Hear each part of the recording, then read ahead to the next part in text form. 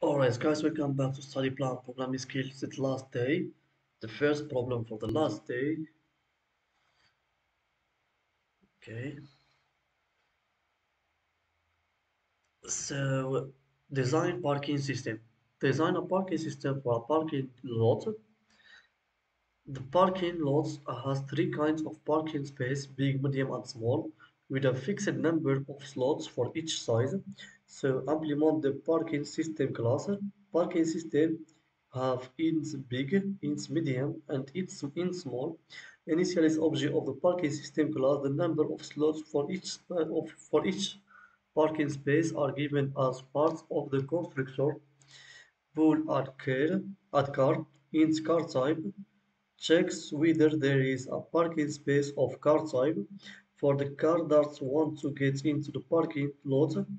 Car type can be of three kinds, big, medium or small, which are represented by 1, 2 and 3 respectively. A car can only park in a parking space of its car type. If there is no space available, return false. Else park the car in the size space and return true.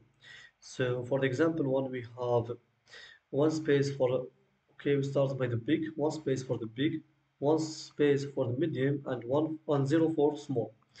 And we have this this is the colors we have.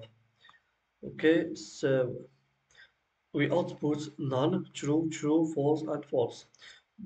The explanation is parking system parking system equals to new parking system 110 when we add the first car 1 we return true because there is one available slot for a big car this is for the big now the big is 0 and for for the second we return true because there is one available slot for a medium car and now we don't and now we don't have any any space so 0 0 and 0 so the final ones are false and false. Okay let's see how we can do that.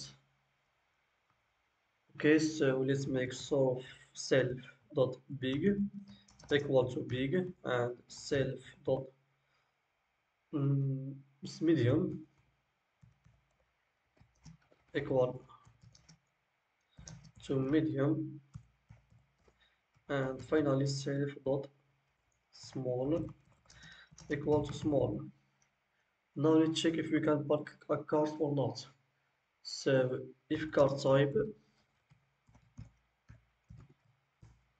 is equal to 1 and self dot big is bigger or equal than 1 in this case here we can park this.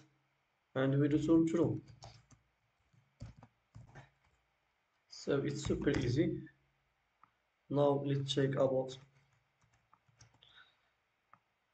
Okay so if it is 2 and now we are in the medium. So yeah and here I forget so. Minus 1 to the big because we are already because we have in this one to park. And the same for the medium. And we return true. Okay now for the small car. So if car type equal to 3 and set the small is bigger or equal than 1 so small equal to small minus 1 and return true. Otherwise we just return false. So yeah that's it. I hope it's working let's run the code